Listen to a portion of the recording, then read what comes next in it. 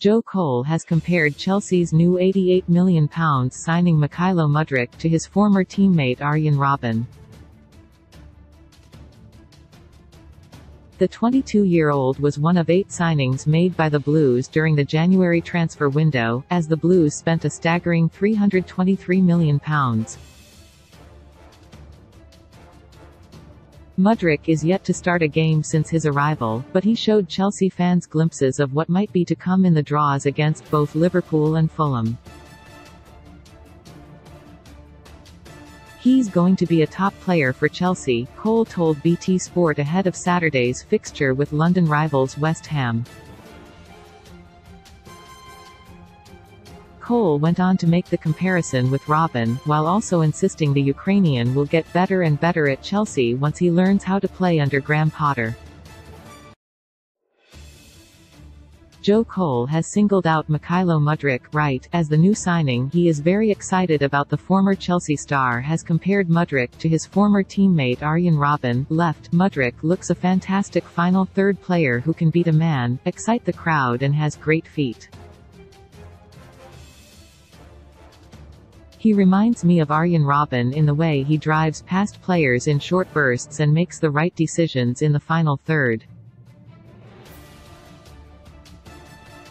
I think he's going to get better and better so Chelsea have got him at the right time.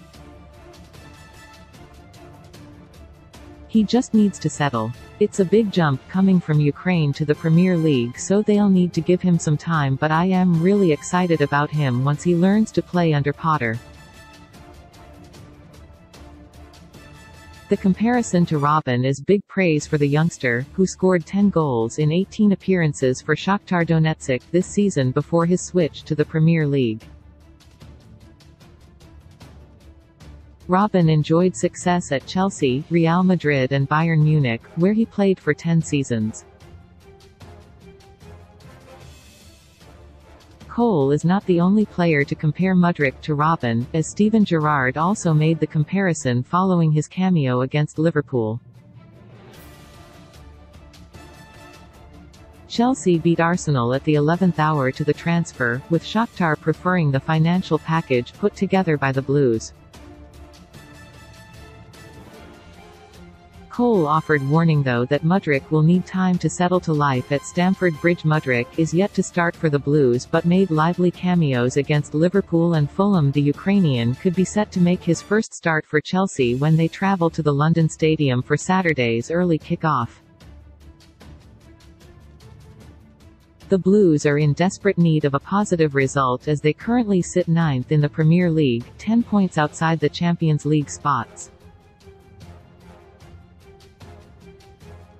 Cole, while speaking to BT Sport ahead of Saturday's London clash, also added that the clock is ticking on Declan Rice's career and that every top club except Real Madrid will be looking to sign him.